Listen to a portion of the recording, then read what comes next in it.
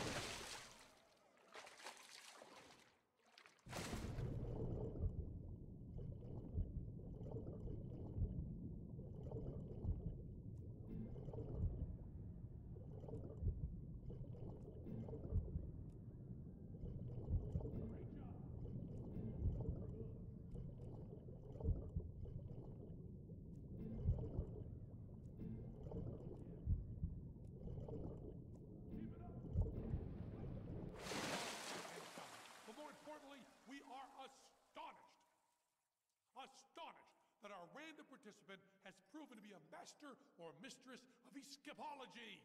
The glass casket is a cruel and unforgiving mistress. With an iron will, they stared her directly in her reptilian eyes and broke free of all restraints. But did they really? But did you really follow all our directions before breaking the locks? Were your hands really tied up, or were you flailing them around like a silverback gorilla hopped up on Jane Goodall's Adderall? Did you really hold your breath every time you're underwater? You only cheated yourself out of the panic sensation of failing and drowning at the same time. So why not try again? Do it! If you do it for real and break all the locks, we'll consider you a true master or mistress of escapology.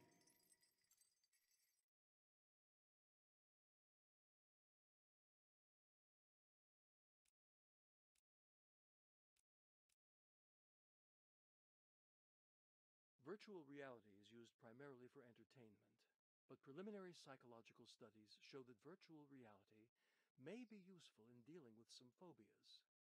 By immersing the patient in his or her fears safely in VR, that safe zone can expand into the real world. The following is for healthcare professionals. For education purposes only, it should not be used on patients. It will demonstrate to you how simple and effective this new therapy can be. We hope you'll sign up for a free trial in your own practice. Let's imagine your patient has a debilitating fear of spiders. So, we create a safe fantasy environment where the patient can experience the fear while knowing there is no genuine danger. Please take the role of patient and try it for yourself. You're in a dark forest. Two rolled up newspapers. Use them to swat the computer generated spiders as they fall out of these trees. Go ahead, give it a try.